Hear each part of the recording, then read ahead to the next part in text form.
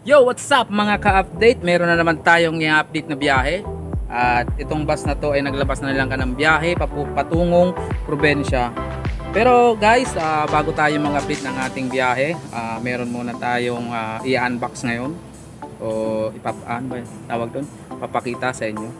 Dahil dumating na nga yung aking hinihintay at ito ang Google Pin.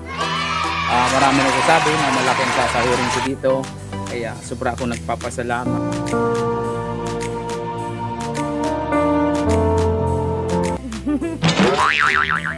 So ayun guys, dumating na ang aking Google Pen. Request ko to noong nakaraan pang buwan.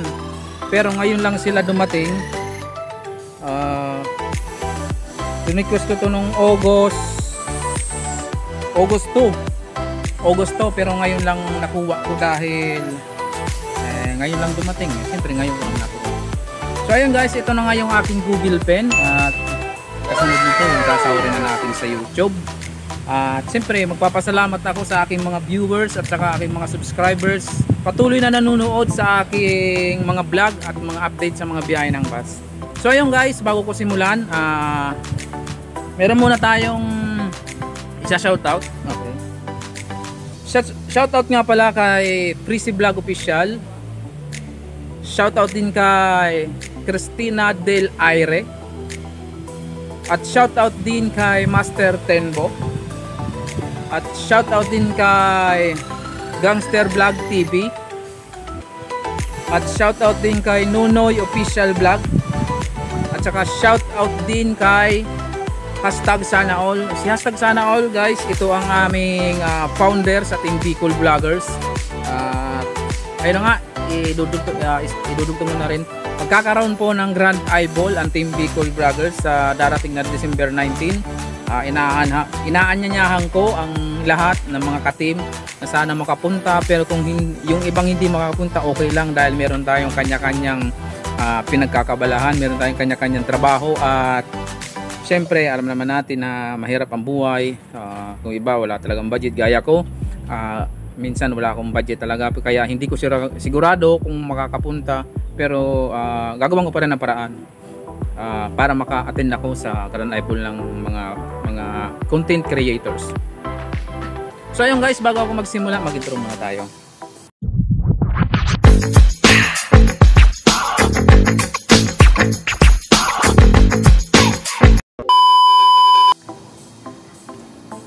Yo, what's up guys mga ka-update? Ito na nga yung bus na i-update natin ngayon at ito ang bus na JFO Tours. Ayun guys, JFO Tours ang i-update natin ngayon. Medyo nabubulol ako, pasensya na kayo.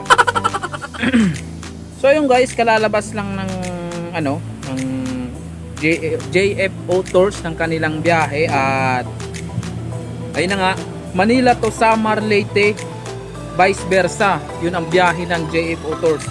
At ang kanilang ang kanilang biyahe lang ay Kalbayog, Katbalogan, Tacloban, Carigara, at Katanga, Urmok, Kalumpon. Yun lang ang nakapost dito sa kanilang page at at yun din ang pinuts ni ah, ng kanilang admin hindi ko na siya papangalanan. Pasensya na guys ha.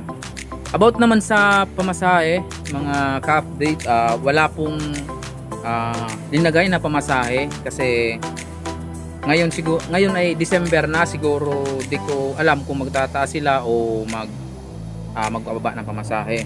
Pero naglagay sila nagbigay sila ng contact details para sa mga katanungan na gustong sumakay ng JFO Tours papunta sa mga probinsyang nabanggit ko So, ayun guys, sa mga magtatanong sa requirements, ah, wala rin silang linagay about sa requirements. Siguro, ganun nga ang proseso. Magtatanong kayo ng requirements o pamasahe, ah, kontakin nyo lang ang number na ito. So, ayun guys, itong number na to ay walang, nakapa, walang nakalagay kung kanino pangalan na ito. Ito yung number mga ka-update. Uh, 0926 17 880 02 At meron pang isa.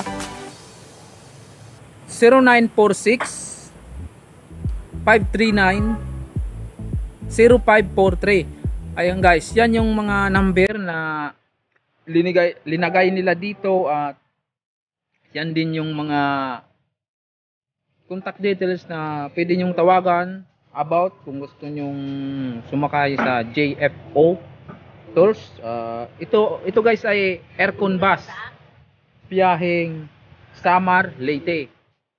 So idadagdag ko lang lang guys ah. Ah, idadag ko lang ah marami kasi nagko-comment sa akin mga video na ah, kung may biyahe daw ang Masbate. Ah, guys kung kayo ay taga Masbate pasensya na wala pa akong ma-update na, dyan sa Masbate kasi hinanap ko sa social media ang mga update sa biyaheng Masbate. Wala talagang lumalabas na bus ah, na biyahe. Halos lahat lumalabas ay van. Van mga door to door na van. Yun ang lumalabas lang sa ah, sa social media aking research.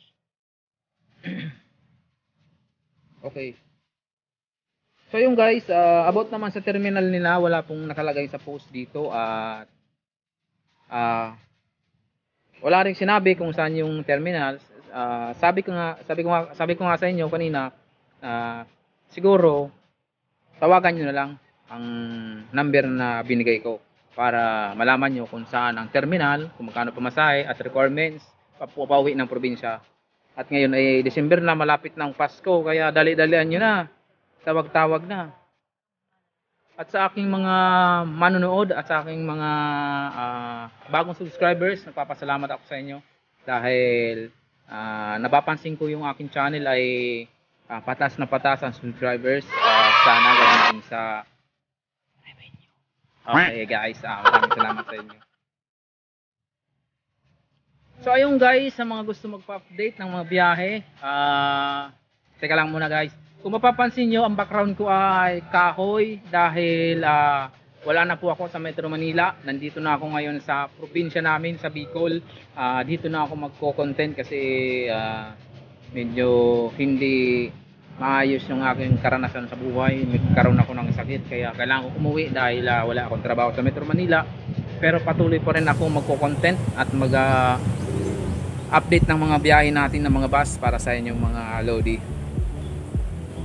So, ayun guys nga, sinabi ko background ko ay kahoy, santol yan at saka yung ano namin, yung ah, halaman. Wala pa kasi akong pwedeng malagay na ano, maging background sa lagod. Pero okay naman yan, okay. At least makita nyo naman ako ng maayos. So ayun guys, ah, sa mga nagsayang ng oras at nanood sa vlog kong ito ngayong araw ay maraming salamat sa inyo at huwag niyong kalimutan i-subscribe ang aking channel Pasamok TV Travel Update. Malapit na ako magpalit ng pangalan. Isasabay ko sa countdown ng ating taon. Ayun gina- sinasabi ko na sa inyo. Papalitan ko kasi yung aking yung Pasamok TV Travel Update papalitan ko yan ng bagong pangalan. Ah, isasabay ko yan sa countdown ng sa countdown, countdown of the year. So eh, masaya to eh. Kasi nga isasa- isasabay ko sa New Year eh So ayun guys, sa mga bago pa lang sa aking channel, huwag niyong kalimutan subscribe ang aking channel Pasamos TV Travel Update at pindutin niyo rin ang bell notification para may update kayo sa aking bagong mga video ang bilis mo! So ayun guys, bye-bye na, mag-ingat lagi at may pandemic pa rin kahit magpapasko na, bye-bye, ingat kayo!